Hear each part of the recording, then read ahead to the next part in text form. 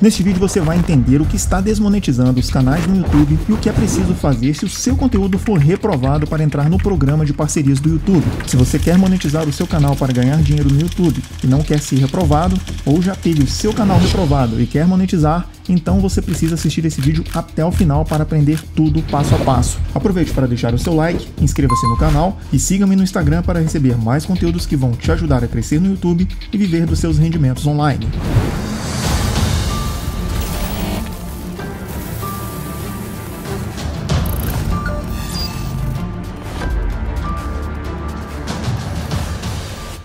E por falar em vídeos reprovados para monetizar, eu tenho um mini curso gratuito com três aulas sequenciais ensinando como crescer da forma correta no YouTube para monetizar e poder ganhar dinheiro aí com seu canal. Vou deixar o link na descrição do meu WhatsApp, basta você me chamar que eu te envio as três aulas onde você vai aprender como iniciar da forma correta, como planejar seus vídeos para ter melhores resultados e um vídeo no formato de mentoria para entender como crescer e monetizar no YouTube. É só clicar no link que está na descrição ou fixado nos comentários. Então agora, vamos para o conteúdo conteúdo. Eu vou mostrar aqui para vocês as políticas de monetização de canais do YouTube com as atualizações que teve aqui na plataforma para que vocês fiquem por dentro do que está acontecendo e o que que faz com que as pessoas estejam caindo frequentemente em conteúdo reutilizado e não conseguindo monetizar os seus canais principalmente se for um canal dark, e também com o uso das inteligências artificiais. Então, olha só, aqui ele está falando assim: ó, atualização em abril de 2024. Reescrevemos nossas políticas do programa para esclarecer o que é conteúdo repetitivo e reutilizado para os criadores, mas essas políticas não mudaram. Aqui é porque teve muita gente que ficou em dúvida entre conteúdo repetitivo e conteúdo reutilizado, sem saber qual que é a diferença entre uma e outra. Então, aqui dentro das diretrizes, eles fizeram essa atualização para explicar melhor a diferença entre um e outro, ok? E eu vou mostrar aqui para vocês, mas basicamente fique comigo até o final desse vídeo para que você não tenha problema em monetizar o seu canal. Caso você tenha tido algum problema, eu vou explicar aqui o que, que você deve fazer para que você consiga recuperar a sua monetização. Teve até um inscrito aqui do canal, ele pediu análise para monetizar, assim que ele atingiu todos os critérios para monetização das 4 mil horas e os mil inscritos, e ele caiu em conteúdo reutilizado. Ele ficou desesperado, entrou em contato comigo. Eu instruí ele do que ele precisava fazer e ele conseguiu então a monetização. Ele até deixou essa mensagem aqui para mim no WhatsApp. Dá só uma olhada. Então aqui ele mandou um print para mim no WhatsApp da mensagem que o YouTube mandou para ele logo após ele fazer a contestação com as minhas instruções. Então olha só o que, que o YouTube falou para ele. Estamos felizes em informar que a sua contestação do programa de parcerias do YouTube foi bem sucedida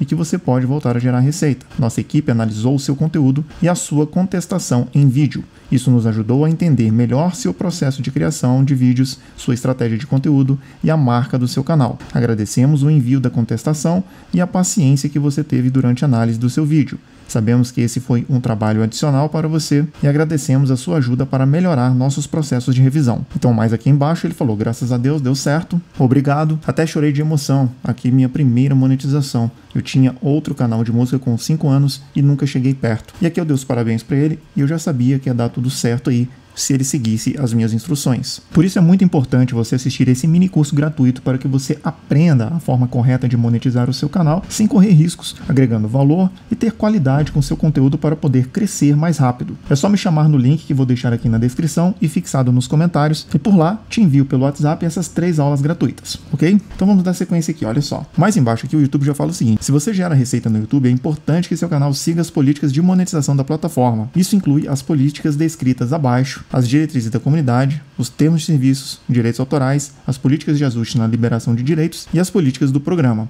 Essas regras valem para quem já participa ou quem quer entrar no programa de parcerias do YouTube. Mais embaixo aqui ele fala o seguinte, olha só, confira a seguir uma visão geral das políticas mais importantes. Elas são usadas para verificar se um canal está qualificado para gerar receita, então leia com atenção. E eu vou mostrar aqui para vocês. Então olha só, é exatamente isso aqui, ó. O que verificamos ao analisar o seu canal? Ele precisa ser uma criação original ou seja, pessoal, eu sempre falo aqui para vocês, não fique com essa história de copia e cola. Você não pode entrar nessa onda de ficar copiando coisa de outros canais. Tem muita gente ensinando isso errado, isso é muito chato porque as pessoas acabam aprendendo errado e acaba caindo em conteúdo reutilizado. Se você gostou de algum conteúdo, você quer replicar aquilo, você já não pode replicar. Você tem que fazer do seu jeito, fazer com que o seu conteúdo fique diferente para que ele não seja caracterizado como uma cópia. Ele precisa ter aí a sua digital. Então olha só, ele não pode ser duplicado nem repetitivo. Seu conteúdo precisa ser criado para diversão ou educação dos espectadores e não apenas com a finalidade de gerar visualizações. Basicamente, o que ele está querendo dizer aqui é que se o seu conteúdo gera valor, com certeza o seu conteúdo vai ser monetizado, desde que ele seja original. E essa questão que ele fala aqui, ó, de não apenas com a finalidade de gerar visualizações, acaba copiando outro conteúdo de outro canal que bombou aí no YouTube com a esperança de gerar visualizações, ou acabam criando conteúdos apelativos que infringem as regras da política de monetização. Nossos revisores vão verificar se o canal e o conteúdo estão de acordo com as políticas da plataforma. Como não é possível analisar todos os vídeos,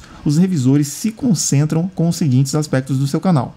Olha só, o tema principal, os vídeos mais assistidos, os vídeos mais recentes, os que têm a maior proporção de tempo de exibição e os metadados dos vídeos, incluindo títulos, miniaturas, por isso eu estou sublinhando aqui, pessoal, porque tem gente que vai lá, copia a miniatura de um canal gringo, por exemplo, que não tem nada escrito e coloca dentro do seu canal como se aquela miniatura pertencesse a seus vídeos. Isso está errado, você pode perder a sua monetização por copiar miniatura de outros canais. Então não faça isso jamais. Crie suas próprias thumbnails. Se você não sabe criar thumbnail, aqui no canal eu tenho vários vídeos ensinando vocês tudo passo a passo com vários tipos de programas gratuitos diferentes. E outra coisa que ele também olha são as descrições e também a seção sobre do canal. Então, pessoal, olha só, os itens acima são apenas exemplos de conteúdos que pode ser analisado pelos revisores. Também é possível que outras áreas do seu canal sejam avaliadas para conferir se ele segue totalmente nossas políticas. Então fique atento a isso daí. Então agora eu vou mostrar para vocês aqui a diferença entre conteúdo repetitivo e conteúdo reutilizado. Olha só, mais embaixo aqui, ó, Conteúdo repetitivo. Essa definição se refere a canais em que o conteúdo é tão parecido que os espectadores não conseguem diferenciar os vídeos. Isso inclui conteúdo que parece ter sido criado usando um modelo com pouca ou nenhuma mudança entre os vídeos, ou que pode ser replicado em grande escala com facilidade. Normalmente são aquelas pessoas que criam tipo um template e vai utilizando as mesmas imagens, muda pouquíssimas coisas no conteúdo, muitas vezes utiliza até as mesmas capas. Isso não pode, pessoal. Isso é conteúdo repetitivo e o conteúdo repetitivo se diz ao seu próprio canal, onde você está repetindo, replicando seu próprio conteúdo ok? Então não faça isso. Se você estiver fazendo isso daí, pode ter certeza que você vai ter problema na hora de você pedir a análise novamente, mesmo com as instruções que eu vou passar para você, você não vai ter como se explicar e o YouTube vai manter a decisão de deixar o seu canal desmonetizado e você não vai ter uma segunda chance para provar como que você cria o seu conteúdo, ok? Mas fica tranquilo que eu vou mostrar aqui para vocês o que é preciso fazer. Aí aqui mais embaixo ele mostra quais são os vídeos que podem gerar receita. Eu não vou ler, pessoal, porque senão esse vídeo aqui vai ficar muito grande e eu tô passando aqui para vocês as principais coisas coisas aqui das diretrizes, mas eu vou deixar o link na descrição para que você dê uma lida completa e você se informe melhor aí, beleza? Aqui tem um conteúdo que viola essa diretriz, vale muito a pena você dar uma lida nisso daqui também, mas eu quero mostrar para você agora o conteúdo reutilizado para diferenciar ali do conteúdo repetitivo, que é o seguinte: isso se refere a canais que reutilizam conteúdo que já está no YouTube ou em outra fonte online, ou seja, não é apenas pessoal que está no YouTube. Se você está pegando, por exemplo, está replicando conteúdos de um site, por exemplo, e você não está fazendo nenhuma mudança significativa, você também pode ter problema e o YouTube consegue rastrear isso. E é o que ele fala aqui, ó, sem adicionar comentários originais significativos, fazer alterações consideráveis ou agregar valor educacional ou de entretenimento. O material reutilizado também pode ser chamado de duplicado ou copiado. Usar conteúdo original ou exclusivo de outros sites e publicar como se fosse seu, foi o que eu acabei de explicar aqui para vocês. E olha só, para saber se o conteúdo foi reutilizado, nossos revisores vão verificar seu canal para entender como você criou e produziu os materiais ou participou da criação deles. Os revisores podem verificar os vídeos, a descrição do canal, o título do vídeo, as descrições dos vídeos. Eu já vi muita gente explicando errado que você pode copiar título de vídeos de outros canais. Tá errado. Você não pode fazer isso. Tá aqui nas diretrizes. E ele fala aqui que a nossa política de conteúdo reutilizado se aplica ao seu canal como um todo. Se você tiver vídeos que violam nossas diretrizes, ou se não pudermos afirmar claramente que você criou o conteúdo,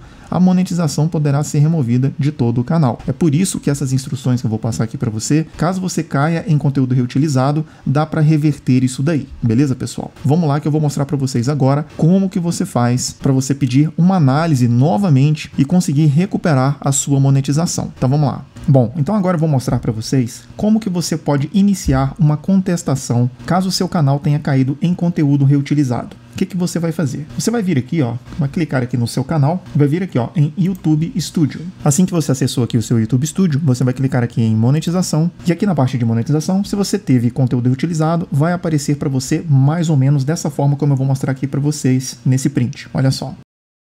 Aqui dentro da sua aba monetização vai estar dessa forma aqui, ó. Analise nosso feedback. Nossos avaliadores concluíram que seu canal apresenta o seguinte: conteúdo reutilizado. O canal usa conteúdo de outra pessoa sem fazer mudanças que agreguem valor significativo.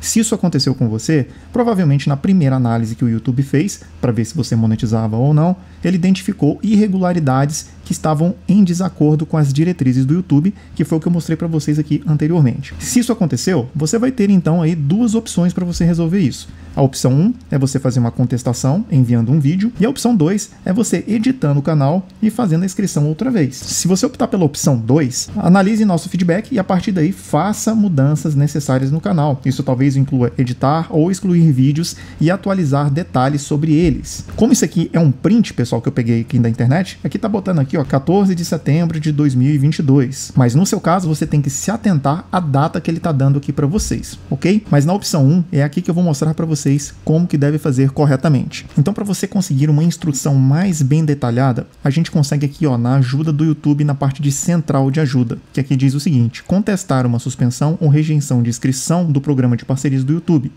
Se você acredita que seu canal foi suspenso do programa de parcerias do YouTube por engano ou sua inscrição foi recusada incorretamente, envie uma contestação. Para isso, envie uma contestação em vídeo. O que, que você vai precisar fazer, pessoal? Vocês vão ter que gravar um vídeo de até 5 minutos no máximo. Não passa disso, tá, pessoal? No máximo 5 minutos, para você mostrar como que você faz todo o processo de criação do seu vídeo. Você mostra quais são as ferramentas que você utiliza, você mostra como que você faz a sua edição, mostra como que você cria o seu roteiro. Fazendo isso, mostrando todo esse processo de criação que você usa para fazer para o seu seus vídeos, eles vão analisar e se você tiver dentro das diretrizes do YouTube, você vai conseguir monetizar. E aqui ele diz o seguinte: olha só, você pode enviar uma contestação até 7 dias antes da data de suspensão programada. Se você enviar a contestação em 7 dias, Pausaremos a suspensão programada enquanto nossas equipes analisam sua contestação. Nossas equipes vão responder a sua contestação em até 14 dias com uma decisão. Isso, pessoal, pode ser no dia seguinte. Esses 14 dias aqui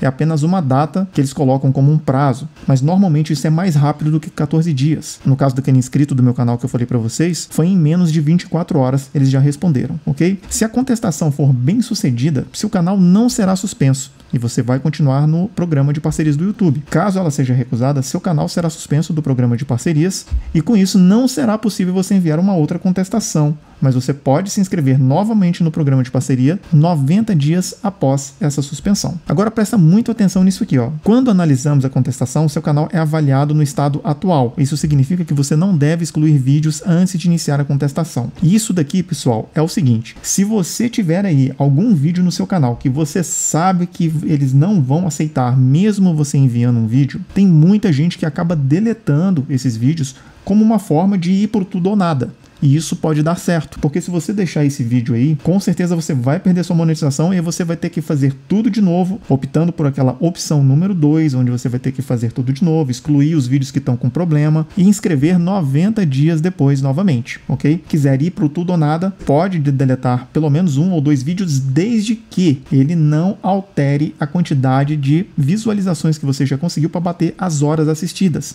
Porque se você deletar e ele diminuir as horas assistidas, você não não vai conseguir monetizar o seu canal porque ele diminuiu as 4 mil horas, ok? Então isso precisa ficar muito bem claro caso você decida deletar algum vídeo para tentar ir para o tudo ou nada. Mas que fique claro, pessoal, delete somente se você souber que realmente vai dar problema. Se você conseguir provar com os vídeos que você vai gravar, mostrando todo o seu processo de criação e que isso está dentro dos processos da diretriz do YouTube, então você vai conseguir monetizar sem precisar deletar nenhum vídeo. Se você usa alguma inteligência artificial para te auxiliar, mostra que você faz intervenção humana, que você não faz tudo 100% com inteligência artificial, porque se você mostrar a inteligência artificial que cria tudo para você, você não vai conseguir monetizar você precisa ter intervenção humana, ou seja, você utiliza as inteligências artificiais apenas para auxiliar no seu processo criativo, mas você reescreve seus textos, as imagens que você usa com inteligência artificial, caso você vai fazer uma thumbnail, faz um processo criativo dentro do Canva ou no Photoshop, ou seja, você pode utilizar as inteligências artificiais desde que você utilize elas para te auxiliar. No processo criativo é seu. Mostrando isso dentro desse vídeo de 5 minutos, você envia para eles e pode ter certeza que vai dar tudo certo aí para vocês, ok? Aí aqui ele fala dos requisitos de formato. Somente o vídeo não inclui informações sobre a contestação na descrição. Ter menos de 5 minutos, igual eu falei para vocês. Você tem que deixar ele como não listado. Isso aqui é muito importante, senão você vai acabar subindo ele para o seu canal. Deixa ele como não listado. Esse vídeo precisa ter sido enviado pela sua conta ao canal, que é o da contestação, ser narrado em um idioma com suporte ou ter legendas em inglês que não são geradas automaticamente. E aqui nessa parte aqui do status do conteúdo, mostrar a URL do canal nos primeiros 30 segundos do vídeo, fazer referência às políticas do programa, que fazem parte das políticas de monetização de canais do YouTube, mencionar os pontos específicos das políticas e dar exemplos de como seu canal segue as nossas diretrizes. O foco deve ser o canal como um todo, não apenas vídeos específicos que seguem nossas diretrizes. Oferecer exemplos visuais de como seu conteúdo foi criado. Isso aqui foi exatamente o que eu expliquei para vocês. Mostre como você editou ou gravou o seu conteúdo e tente relacionar o que está na contestação em vídeos com outros conteúdos do seu canal. E aqui embaixo basta você seguir aqui ó, esse passo a passo que eu vou deixar aqui o link na descrição, e com essa explicação que eu mostrei aqui para vocês, eu tenho certeza que vai dar tudo certo aí para vocês. Se você estiver dentro do prazo de contestação, já faça isso logo para não passar do prazo. Depois você vem aqui e deixa o seu comentário dizendo se deu certo aí para vocês. Então esse foi o vídeo de hoje. Não esqueça de inscrever-se aqui no canal e deixe seu like. Verifique os links na descrição, tanto do mini curso gratuito quanto das diretrizes do YouTube. Um grande abraço para todos e até os próximos vídeos.